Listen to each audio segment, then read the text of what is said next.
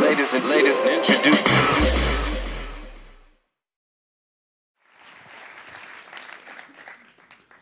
One of the leading stress experts, uh, Dr. David Lewis, uh, compared the brains of commuters with the ones of fighter pilots going into battle. And after five years of research, he discovered that commuters experience more stress than these guys. Dr. Lewis also gave us, commuter, commuters, our own syndrome. It's called commuter amnesia. It refers to the fact that we are so stressed, we forget large parts of our journey to work. And the thing is, he found this more with train commuters than with people who take the car to go to work. Now, why is that? It's very simple. If you're in a car, you're in a sort of extension of your home. Uh, because in a car, you can do anything you like. You don't even have to think. You can even shave or do makeup, just like you would do at home. And a train is completely different. A train is a sort of pre-extension of the workplace. Uh, because the minute you decide to take the train to your work, you have to start thinking. And with thinking, well, your working day starts. But you already know this already. You know this old saying that says, um, if you commute by automobile, you can afford to be an imbecile. But if you commute by train, you have to use your brain. now, uh, we are with half a million uh, train commuters in the Netherlands. And uh, we are not really aware of all the thinking that's going on. But on the other, on the other side, when I uh, arrived at my uh, destination, at, arrived at my office, I already felt pretty tired at the start of the morning. And I couldn't figure out why. That's that commuter amnesia that Dr. Lewis was talking about. So I decided for one year to be extremely aware of all my thoughts and all my decisions while I was commuting by train. Um, and let me take you through that thinking a bit, uh, thinking process in rough lines. If you commute by train, you will spend, let's say, 45 minutes in a train. What do you want? You want a seat. But how do you get a seat? Well, you, uh, if, you, if you make sure that you step in first, you're pretty sure you will get a seat.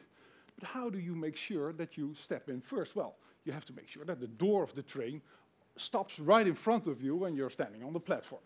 And a lot of elements come into play while you're doing that.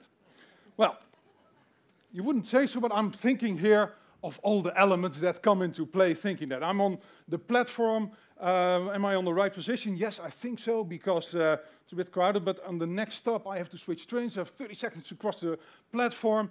Uh, and besides, my bike is at the end, uh, final destination. It's far east uh, of the station, and with this position, I will end up far east as well. Ah, there's the train uh, coming in. Now I have to think of the stopping speed of this train, but not only that, I also have to figure out what is the stopping style of the train driver. Is he going to stop abrupt or smoothly or something in between? I have to think, think, think. Well, if I would be here, thoughtless, going to the office, back to the catching a train uh, again. I have to figure out what is measured because I don't want to end up in an empty uh, spot uh, at the platform. I have to figure out where's the second class compartment because I don't have a first class ticket. I have to figure out, well, the button to stop, uh, to open the doors. If you push it first, then you are entitled to get in first. But are the people around me aware of this informal rule? So you also see me doing a quick social intelligence com train commuting experience scan of everybody on the platform. Well, uh, this is the result. um, so I'm getting in first, but do you think that, I'm, uh, that I can stop using my train brain now? Well, you cannot, because this is what you want, a seat. Uh, a seat, um, to get a seat, your brain train really has to start working because it's, what it's doing in a parts of seconds is very quickly striking off a long list of priorities, very detailed priorities. This is my first priority, a seat in the direction, single seat in the direction I'm heading. Well, let's say it's occupied. Uh, well, I don't mind. I'll take the, the, the single seat uh, going backwards. I don't mind because I'm a man.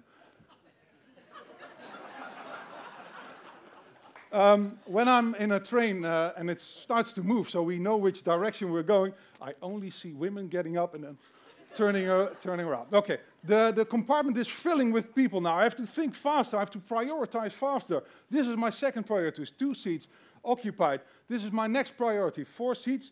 Let's see, there is a big guy with his legs sitting wide like he's going to a gynecologist, and I will be touching my thigh with his for next hour or so. Not gonna do that. The other part is, uh, well, I have to climb over knees and over luggage, and then I have to decide which part of my body I'm going to stick in my fellow travelers' noses. So I'm not going to do that as well. Next priority, first class. I, have, I don't have a first class ticket. So I will be constantly looking out for the ticket man and meanwhile rehearsing my excuse story. I cannot read a newspaper doing that. Next priority, well, here are the steps in the, on the balcony. But not like this, with a newspaper, please. But which newspaper? preferably a free one, but if there's not, then I'll use my own. And as a sub-priority, the pages are already read. Well, this prioritization goes on and on and on. Now think of the situation where there's a train crossings that, crossings that don't work, or there's a theft of copper wire. In other words, there is a big delay. Then your brain train really has to start working because you have to consider alternatives you have to choose the least delayed option to get to work. But that is not a choice. It's a gamble. A, station is in fact a casino. These alternatives can, you, can get your brain train really get overheated. Uh, one day I had the options between to go to work, to very long delayed uh, possibilities to get there. I gambled on one, but when I arrived at my final destination, I really wanted to know how, whether my gamble had paid off. I thought I won, let's say, 12 minutes. So I was uh, walking up and down at, uh, up and down at station Amsterdam South, asking people around, have you seen my invisible alternative uh, that I didn't take? Uh, looking out for it, but it's impossible. You cannot figure out what happens to a train that you didn't take. But uh, while I was concluding this, I lost at least 15 minutes, at least. And I still don't know what happened. That is not healthy. Don't do this. Don't use your brain too much. Just go with the flow and roll with the punches. Just um, regard it as an urban adventure and simply take any train that actually moves. Because if you're moving in a train and you're sitting, that's the moment when you can turn off your brain in the train. Thank you.